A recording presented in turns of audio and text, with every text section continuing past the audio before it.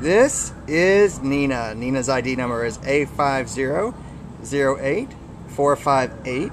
And Nina is a nine-month-old short-haired Chihuahua mix who came into the shelter as an owner surrender on November 2nd.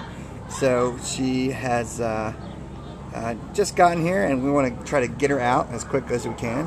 She weighs 10 pounds and she is incredibly sweet. Um, you know that dream you have of that dog that you just take everywhere with you and you hold her like she's your baby? Well, uh, Nina is the dream realized. You can see here she's got her little foot wrapped around her uh, handler's arm and just loving this attention.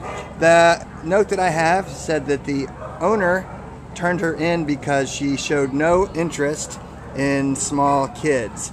Uh, they didn't say that uh, she didn't like them. She just said they just said that um, she showed no interest in them. So, uh, you know what? Not everybody likes kids, uh, and that's why you get a dog that's like a little baby.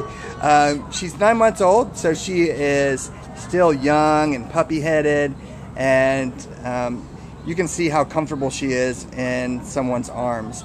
Um, at nine months old, she'll probably need a little bit of puppy training and some time.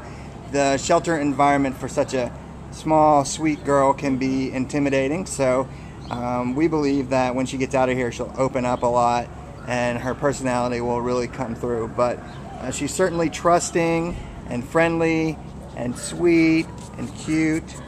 She's getting a little bit bored of my video, but uh, that's only because she is ready to go to your house. So come on down to the Baldwin Park shelter, meet this sweet baby Nina, pick her up, put her in your arms, uh, only put her down when she needs to go to the bathroom, otherwise you can hold her forever and make sure she gets a little bit of play in there in the meantime. So come on down, meet Nina. She is at the Baldwin Park shelter. What a good girl. What a sweet girl.